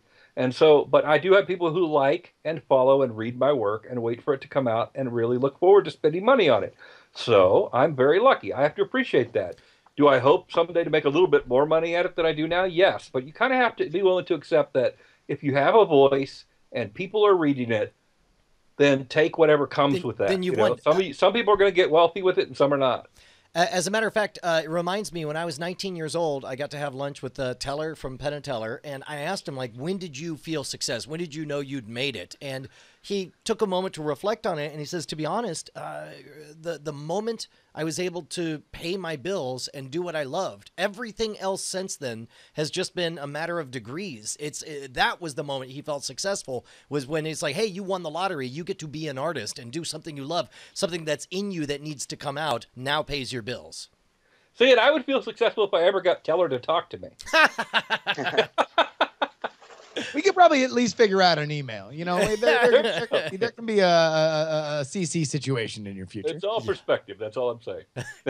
I, i- if if I may be allowed to do a a, a humble brag, um, uh, this week I got nominated by the International Thriller Writers for my book. Uh, Name of the Devil is now up as a finalist for Best Original Paperback of the Year. Congrats. And- Congrats. Wow. It's ex- it's exciting. It's cool. It, it is absolutely wonderful, but it's that that imposter syndrome. You look at this and you're like, well, I I see how everything's held together with duct tape and chewing gum and all that, and it's very flattering. But you're like, yeah, but, but if only they knew. if only they knew. Well, and, and you know, it's that curse. Oh. It's that curse of knowing, right? It's like you know that you won this award because you bothered to ask these people to apply and blah blah blah, and you're like, well, therefore No, it doesn't I'm- really count or whatever. I, I'm saying, I'm saying like in general, like like uh, not not this specific instance, uh, but like uh, you know, for example, the podcast awards. You know, it's like, oh, we won best mature video podcast, you know, last year on the podcast awards, but you know, we asked them and they worked really hard, and it was just fans. It's like that in no way invalidates. There's the the beautiful trophy right there. The fact that that that uh, the only thing that changed And is that is that the bigger is that trophy. we know how we got to that point. It it doesn't Well, in I- any way not mean it's an accomplishment. actually there was no campaigning for this was totally i had no idea that i was even up for it it was a thing that was submitted with with many many other books to a committee there's not a thing where you it's not that at all um it's it's a, it was a strange thing because it's in horror you have the stoker in mystery you have the edgar in sci-fi you'd have like you'd say the hugo or the nebula and for thriller it's a very it's a very different sort of thing because it's it's not like you know when i push for people to like hey if you like my book support on amazon that's one thing but this was a sort of this was industry recognition, which totally came from a different point of view, which is sort of that was what made it weird. Was And I get that. I'm They're just trying Yeah. to keep you humble. No, Andrew. and and, and this is number one. I mean, they, I think we, we, we shouldn't run over the fact that this is uh, a, a, a tremendous honor and a culmination of many, many, many years of hard work uh, to get to a point where an industry award that recognizes a, a critical element as well as you know uh, even to be nominated is a coronation of, of Andrew of a name to watch in that field is is a huge achievement, and I'm very, very, very proud of Andrew. Uh, you know that that that happened, and Name of the Devil is certainly a worthy book for praise. Uh, well, yeah, I didn't Aren't mean you- andrew aren't you on the list with David direction. Morrell of all people? Is it What's David that? Morrell on that list too? David Morrell. I got it. Yeah, and I and one of our fellow Wordfire authors, uh, Jean Rabe, she's on there too. Yes, She's I know Jean was category. on there, and Jean's certainly a workman who's been around for a long time. But I was like, you know, David Morrell is a huge name, and he was nominated for one of those awards, if not this one. Uh, I mean, some of those guys that you're up against, it's like, you know, you're known for whatever you're known for. Maybe you're more known for for magic and being on TV than you are as an author at this point. And people are like, "Oh, what's he doing there?" I mean, that's that imposter thing. I think is a natural thing, and I think it's a healthy thing because you know it helps keep you humble. It also helps you keep making good art. You don't want to get carried away and say, "Oh, I don't need an editor anymore," or "I don't need this anymore," or you know, whatever. My dog could write the book. I just slap my name on it. I don't, you know.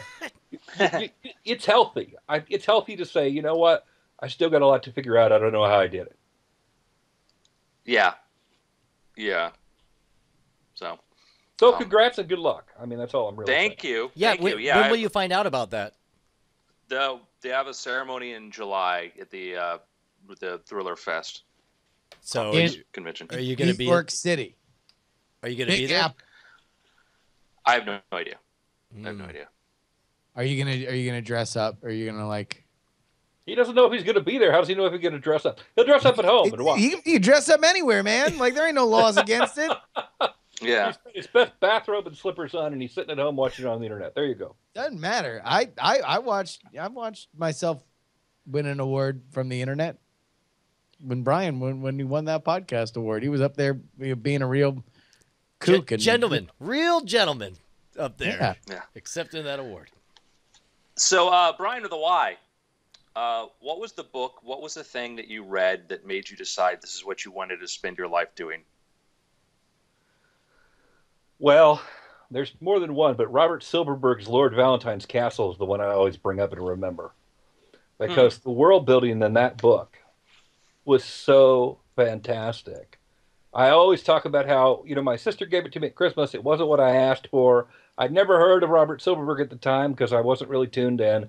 I was like, why'd you buy me this? Whatever, whatever, whatever. She's like, well, well, the bookstore said it was really great. It sounded like your kind of thing. And I'm like, okay, well, the only reason you're getting away with this is because there's a woman with three breasts on the front cover. Okay, that's all I'm saying. But no, I love I love the book uh, so much that like I was like in my room. You know, I think my parents thought I was in my room for other reasons that teenagers stay in their room, but I was in my room reading this book for a long time because I couldn't put it down. And the world building is so fantastic in that book and so big and so detailed that I was just amazed that he could write, you know, this much. It was kind of, I mean, I'd read The Lord of the Rings and The Hobbit somewhere around the same time, so I saw that too. But this was kind of the first time I really read anything truly epic. It just really stuck in my mind as, wow, I, I you know, uh, there's a guy with a lot of ideas. I have a lot of ideas, but I'd love to do that someday. What was your What was your path to where you are now? How did you get more more involved in doing this? Geez, that's a long story. uh, we got time. So, I, I, I started out um, wanting to do TV and film more than wanting to write books, and so I went to film school out in LA, and I spent some time in development hell with screenplays, and I worked on TV shows like uh, for History Channel, like Biography is the most famous show I worked on, but we worked on a couple Emmy award-winning specials, and we worked on different things. We did the, the Raymond Burr special with Bill Cosby when Raymond Burr passed away that NBC did, things like that. And I I worked on a lot of that stuff, and finally decided that you know I wasn't going to be a big screenwriter. It wasn't happening for whatever reason, and they kept telling me I needed to live more and write less stereotypical stuff.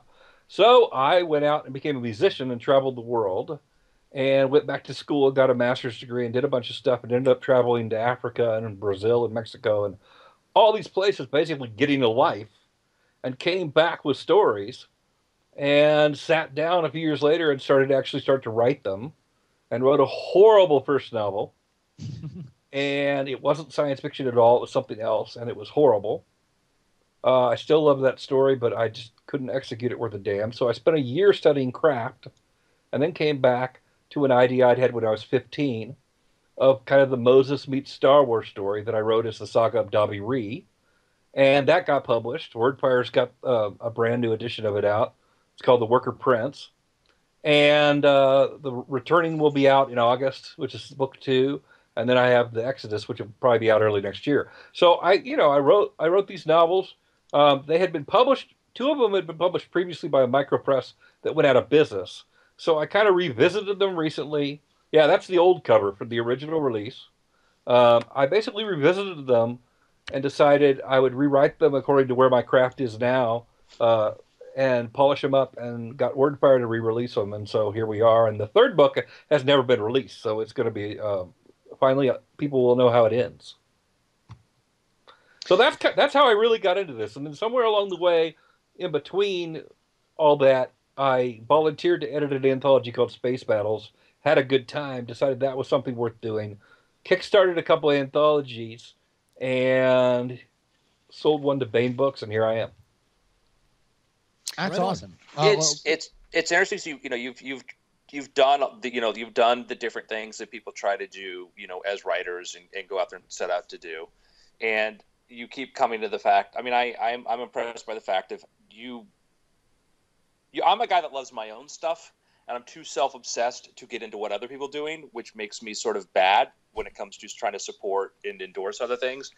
And you have a genuine love of, you know, of, of sci-fi, of fantasy, of what the of the genre, you know, and that's that's admirable. That's very very admirable. That when you're not using it to advance what you're doing, it you're using it to promote the other things that you want to celebrate. Well, I mean, I think I'm surely, surely, especially in Magic, there's people that are your heroes that you kind of Im- imitated. You wanted to learn their tricks. You wanted to do stuff as you came up. I'm sure you modeled yourself after other people, but I think you can get to a point where you're kind of you're you have mastered your craft, or you've gotten to a certain level where you don't do that as much anymore. And I, I don't think the way you describe it, it sounds kind of self-centered, but I don't know that it's necessarily a bad thing. I don't always have as much time to read as I would like and as I used to have. I'm having to make Mhm. time for it, but most of the time I'm reading short stories for anthologies or books that I'm editing, right? So I I've never read the final version of The Martian. I've never had time to go back. I read the version I edited in 2013 before he sold it to Crown, but the final version I've never had a chance to go read because I, I just have too much going on.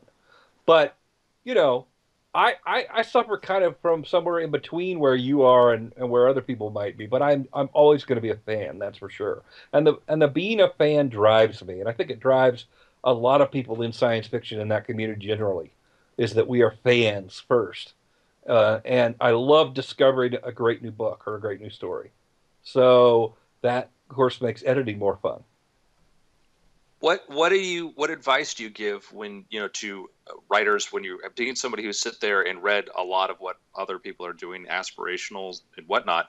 What what are the big mistakes? What are things to avoid? And like when it comes to short stories, which is something I don't have a lot of experience in, which are I'm, I'm basically saying you know tell me.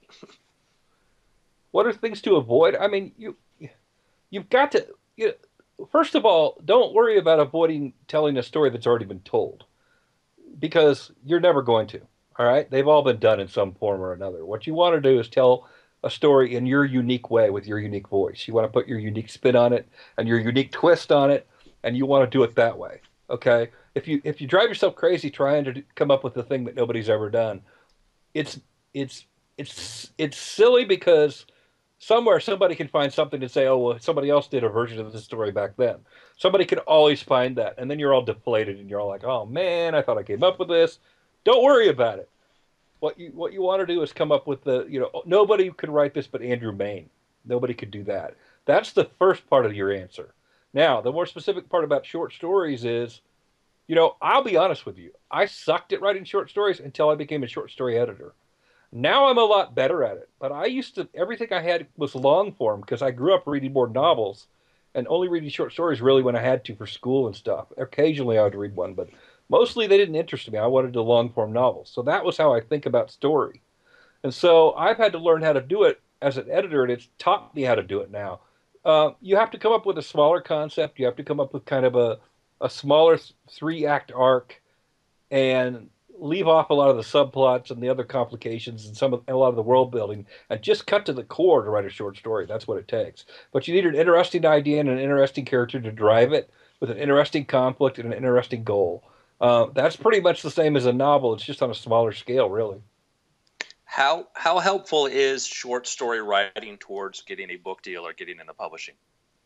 Well, in science fiction, at least, there are a lot of short fiction markets so selling short stories is a great entry point to build up your reputation, build up your name, get people to know, you know, that that respect your writing.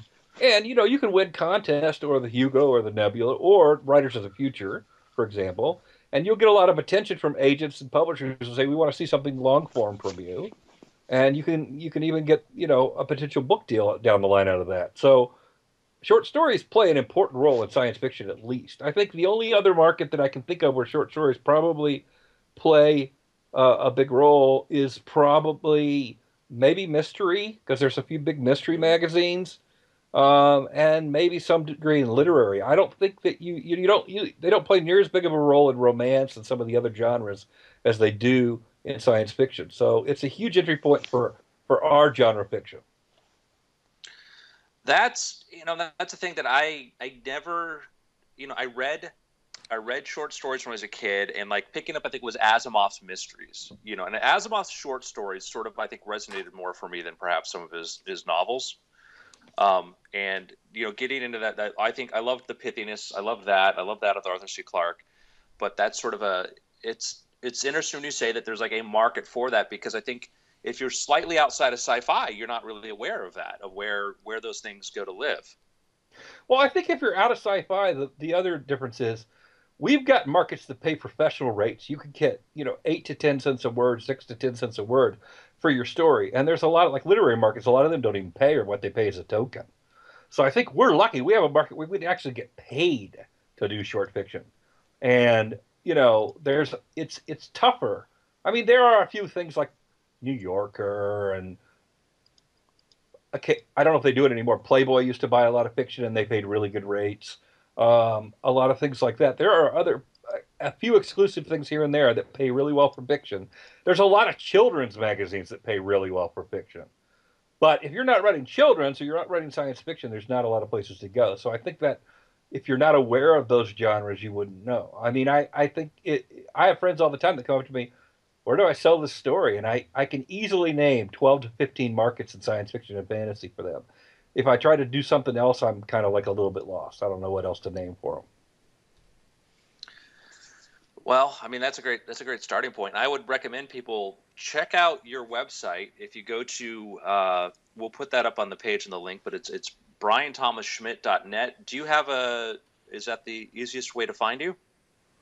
Uh, yeah, you can find me there. You can go to my Facebook author Bryan Thomas Schmidt author editor page, which is basically Facebook slash Bryan Thomas S. There's two S's, right? So just Thomas with two S's. Yep. I mean, you can find me on Facebook there. Yeah, there I am with my little lightsaber. Uh, you know, uh, you can find my. I really need to update that. Boy, that, that's an old profile thing. All right. Anyway, let's deal with that later. Uh, sidetrack, sidetrack. Uh, you can find me on on Twitter as Bryan Thomas, Thomas S. I'm not as active on Twitter in my Bryan Thomas S. handle as I used to be. Um, I really focus more on Facebook and I focus more on uh, my my author site. Um, but uh, I'm not that hard to find. A lot of people find me, so I don't think you can find me. Uh, Brian, I got to ask you something here because I'm looking at your website and I'm scrolling down to all the amazing work that you've done, and considering you know some of the the the, the fun loving attitude we have on this on this show, I couldn't help but have my eye caught by 102 more hilarious dinosaur jokes for kids, as written by Bryan Thomas Schmidt. Um, do do you can you tell us a dinosaur joke? Oh my god, dude! I'd have to actually go. You know what? I will tell you a joke, but I'm gonna have to get up and grab, I'm gonna have to grab the book because I wrote this thing like four years ago. I don't. Kids ask me that all the time, and I have to go look it up because I don't remember the jokes. That's amazing. Hey, uh, listen, I mean, this you is know, this is what like- journalism's all about. We're, we're really we're getting into the really important elements of this story. Sure, The most for the last twenty minutes, ever. You Brian got to write her Thomas off his ass. Go somewhere and get I, something. While he does that, I'm going to suggest to everybody, uh, by all means, check out his page, check out his books. He's, if you go to Amazon, you can see the Worker Prince, the first one in the book series that he's got there. Uh, if you get the Humble Bundle, you can obviously read a selection of stuff that he's assembled there and, and get that. He is a Hugo nominated editor, by the way. Okay, so this is a guy that obviously has some some taste on things, and he's been a, uh, a best science fiction release from BarnesandNoble.com. So Brian is is a, a very interesting guy, somebody worth you know following and paying attention to what he's doing because he's got he's he's one of these people that I meet that has a really good sense of what's going on in the industry overall of who people you know what people are doing. This is a guy who was one of the first people to take a look at the Martian and edit Martian, you know, and that turned Yeah. out really well. Yeah, Yeah, it did, didn't it? Um, all right. Remember, these are kids' jokes, and you asked for it. Okay? All right, dude. I'm yes. ready. I'm in. What do you call a dinosaur who won't take a bath? Uh, a dirty sore? A stinkosaurus. Stegosaurus! What happens when dinosaurs dance? what? An earthquake. There you go. Kids love these. The parents, I don't think, love them near as much because they hear them over and over and over. No, um, listen, I'm I'm gonna call somebody a stinkosaurus just on the streets. Uh, Yeah. Exactly, man. Hey, you stinkosaurus. a if you- stinkosaurus. If you want a co-writer for another book of those jokes, talk to Justin. He can. Uh, Abs- dude, I'm all I'm, I'm all about it. Uh, the the new the Uncle Justin now. oh yeah, no, yeah, no, no. I'm gonna need to I'm gonna need to bone up on it. You know, I gotta. and My there brother you go. You'll have somebody kid, to read so- those to very soon. And there's cute little dinosaur pictures inside too. I have to, I have to like this guy on the front cover's kind of, you know, Yeah, no, he is uh, a That very is the, uh, a, a very hip looking uh, alternative comic oh, dinosaur. that, that is what you call it, a singing dinosaur, a raptor. A raptor. raptor. That's that's the raptor. That's That's that is. amazing. Amazing. Uh, all right, we want to do uh, after things picks. Let's do I- picks. I already got mine. It's uh, 102 more uh, dinosaur jokes. Yeah, there is actually 101 um, hilarious dinosaur jokes book. So the reason it's 102 more hilarious dinosaur jokes is because the publisher hired me to do a sequel. I'm moving away from the window where all this light is, so you can see me better. So excuse me Got while it. I while I carry and walk with my laptop here. Yeah, as far as picks though, um, I mean the closest thing I have, uh, I mentioned it in the main show, um is "Bold" by Peter Diamandis. I think I mentioned it a few times, but uh, still really well good and relevant to stuff we discussed. I'm gonna go with my pick's gonna be the Worker Prince by our guest here, Bryan Thomas Schmidt. Uh, go check that out. You can order it either from WordFirePress.com or Amazon. And uh, Brian is uh, Brian. You're a neat guy. You're a very interesting guy, and I, I look forward to actually reading your your your stuff here. And this sounds it's very very interesting. This is a, a book that captures the original feel of Star Wars. It's Moses meets Star Wars. I mean, that's done. It's fun. It's fun. Hey, look! Don't forget to talk about the Humble Bundle. Go out and buy the hum- Humble Bundle, guys. Uh, I'm sure they'll put the link up for you. But you know, you can pay what you want, and you can get these fantastic books. And it's only it's like you know it lasts another ten days or so. But you know, it's it's a bunch of ebook reading. You can't beat the bargain, and you're helping charity. There's two very worthy charities, including the Challenger Center and the SFWA um, Medical Fund, that you're helping by your donation. So a portion of proceeds will go to both of those. Absolutely.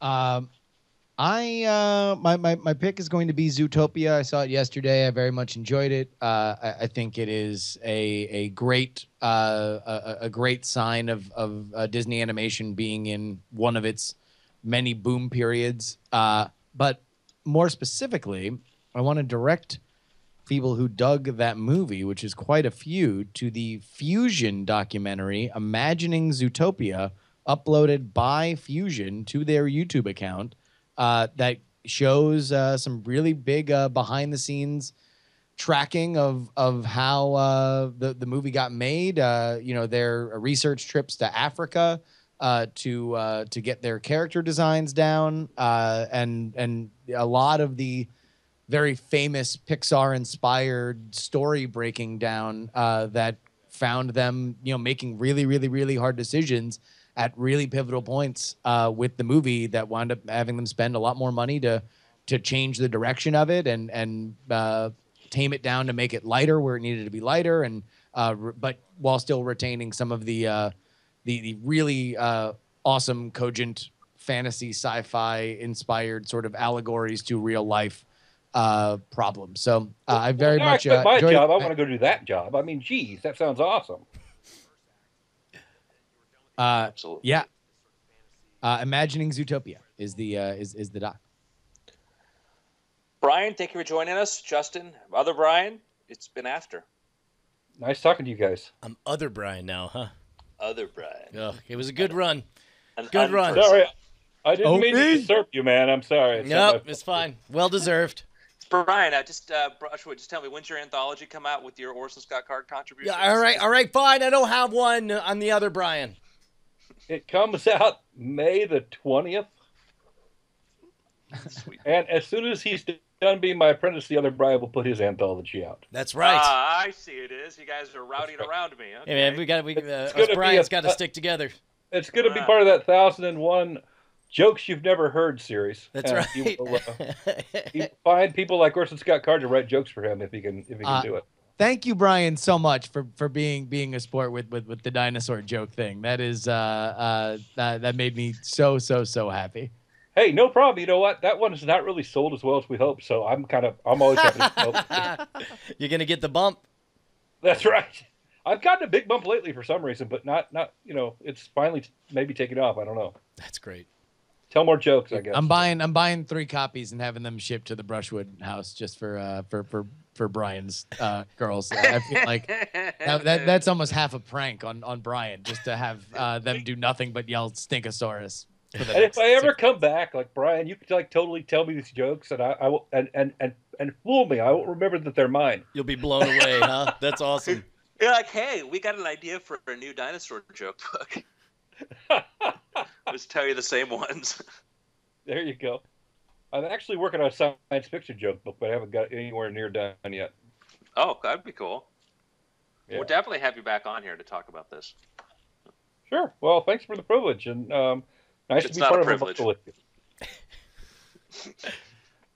All right. I always so much, Brian. podcast. I always have fun doing podcasts. So Yeah, well, we'll we'll Absolutely. bring Thank you back. so much, Brian, for coming on. Yeah, appreciate it, boss. We're All gonna right. wrap everything up. Nice to meet you guys. Take care. Good seeing you. Bye. Bye. All right, everybody. Thank you guys for for for watching the show. Yeah, we like it when you watch the show. It's better than when you don't watch the show. Yeah. In fact, everybody not just everybody write something nasty about the people that aren't watching right now. Just just so you know, like nothing dirty, but like just something mean about them because like they're not watching anyway. So Yeah, let's what all do they do? talk Love behind that. their back. All right. Bye, guys. Bye, guys.